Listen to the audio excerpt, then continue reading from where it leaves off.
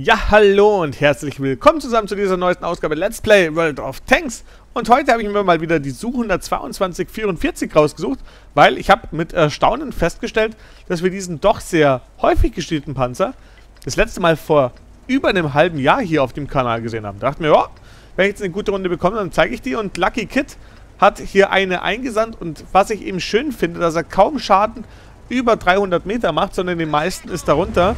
Und dann auch auf einer Karte wie Paris, die ich persönlich jetzt nicht so gut leiden kann. Da dachte ich mir, ja, da schauen wir doch mal rein, was er da so geschaffen hat. Also, ich bin sehr neugierig. Mal gucken, was er da so imstande ist zu leisten.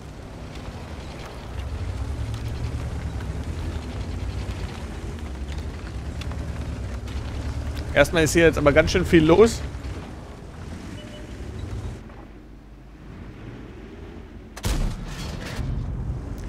Der erste RV, den hat er mal ordentlich daneben gesenzt, aber man muss natürlich auch sagen, den muss man erstmal treffen, weil die Su, obwohl TED und so, aber nicht so ganz genau.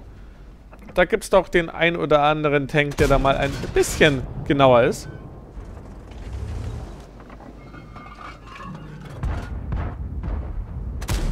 Aber jetzt hat er die Hellcat hier rausgenommen und hat da den Killshot gemacht.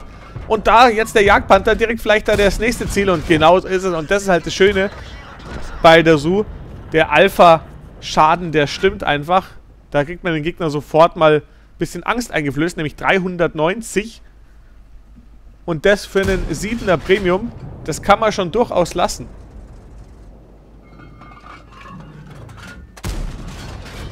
Jetzt macht er da so den einen oder anderen Blindshot ins Gebüsch.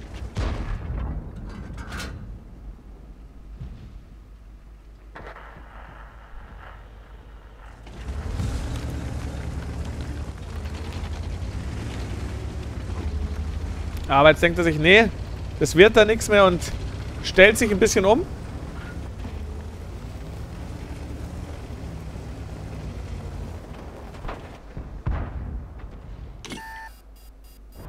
So, da den sehr schön den Schweden seitlich erwischt, aber natürlich jetzt nicht so den dicken Damage gemacht.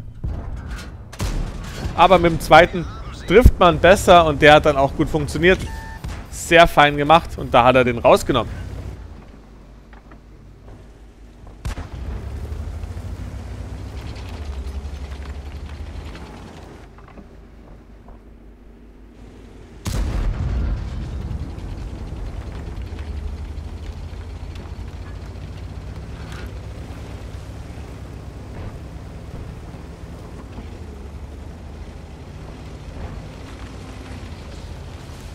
So, und jetzt geht's ab in die Stadt, da der UI natürlich den am, oh ja, am Turm beschießen. Also eigentlich am besten. Da ist er halt sehr weich.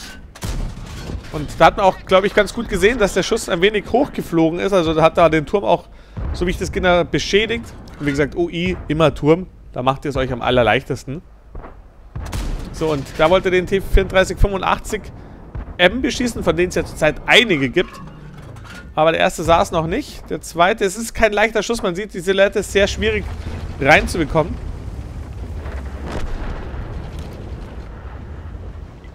Vielleicht jetzt. Ah, ja, ja, ja, komm. Ja, genau so ist es. Aber auch hier 340 Schaden. Also da hat er so ein bisschen Pech gerade mit dem Roll gehabt.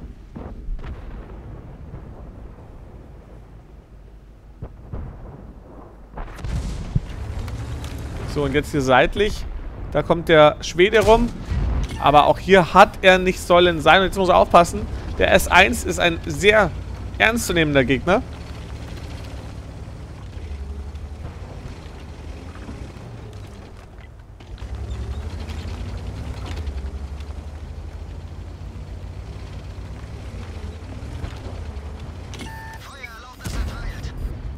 So.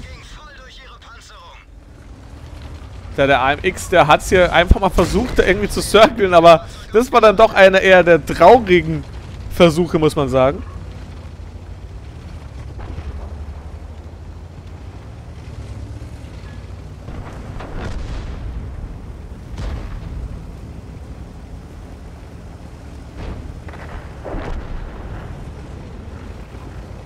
So, jetzt auch hier einiges. Oh ja, der Ude ist sehr schön.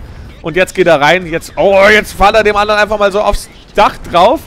So, der Udes. Und jetzt wird es, eigentlich war das ein, eigentlich war das ein zu krasser Move, muss man sagen. Jetzt hat er nicht hinter sich den E8, aber der hat irgendwie verschossen. Beziehungsweise der macht hier gar nichts. Der denkt sich, ach, das macht der andere schon. Und da in dem Augenblick hat er jetzt einmal hier den, die Su hinter sich. Zündet ihn auch an. So, jetzt steht er dem E8 direkt Mano a Mano. Aber alles halb so wild. Der Udes von seinem Team hat hier seine Kanone bestätigt. Aber ist alles egal. Sechs Kills hat er gemacht. Und der Move zum Schluss war wirklich sehr spannend und kurios. Muss man ganz klar sagen, wie es ist.